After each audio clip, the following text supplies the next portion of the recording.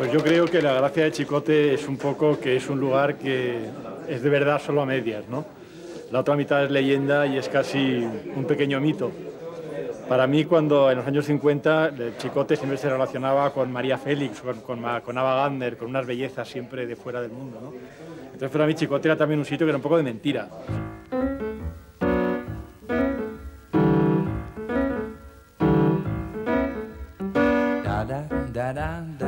Suis d'accord avec vous madame mademoiselle vous êtes si belle celle qui je vous avoue je vous ai vu y puis depuis je vous aime je vous ai Una noche me acuerdo que estaba con un amigo y dije quiero entrar vamos a tomar algo en Chicote se podrá entrar no se podrá pedir algo no Como, ¿por qué no no tienes que ser nadie y tal y entramos y tal y estuvimos un rato muy bien y bueno y esto no que es muy encuentro un sitio precioso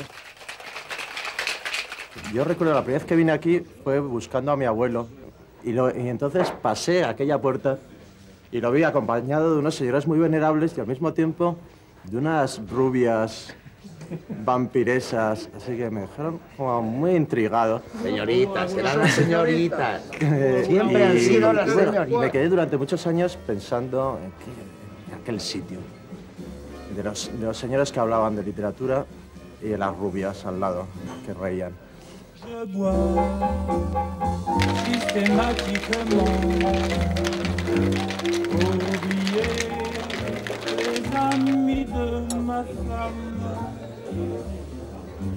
Sé que venía solo y se sentaba precisamente en esta mesa.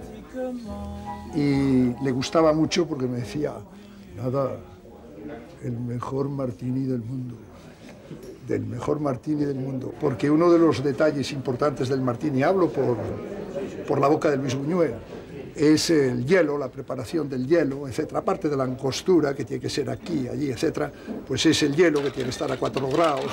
Eh, eh, es, difícil todo ese, todo ese ritual, toda esa liturgia del martini. te cuentan, de repente entras con alguien y te dicen, vamos a sentarnos donde se sentaba Buñuel. Y dices, "Anda". Pero yo, yo no soy especialmente mitómano, o sea que no es eso lo que más me llama la atención. Me hace gracia que siempre que se está aquí alguien cuenta alguna batalla, eso sí. Y era el único sitio de Madrid en el que yo sabía que había estado Ava Gardner. Y eso ya para mí era bastante. Entonces he entrado aquí, eh, he bebido solo, me he ido solo y he pensado durante muchos años, he estado en el sitio donde Ava Gardner pasó. Y como yo soy muy mitómano, sobre todo con las mujeres que se parecen más a Dios que a las mujeres, pues eso para mí ya era suficiente. La primera vez que entré en el bar venía a recoger unos patines que me regaló a Wagner. Exactamente. Bueno. Miré cinco veces, no había dejado los patines, no había venido. de- Pues eso, por acordarme que tenía 11 años, yo era un niño que entraba aquí. ¿no? I used to dream that I would discover the perfect lover someday. No, yo no lo vi juntos, nunca. A Luis Miguel y a Bagarre, yo no lo vi jamás juntos. A ellos aquí, nunca.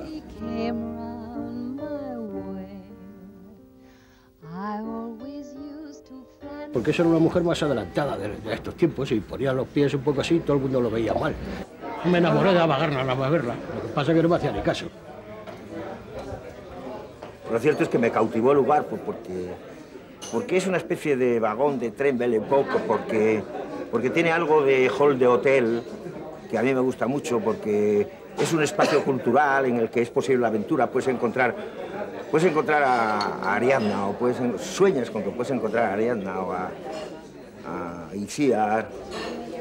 o a nuestra querida amiga, a la señora del la reina del cuplé. de la intelectualidad y la gracia de un piropo retrechero más castizo que la calle de Alcalá. I love my whiskey and I love my gin.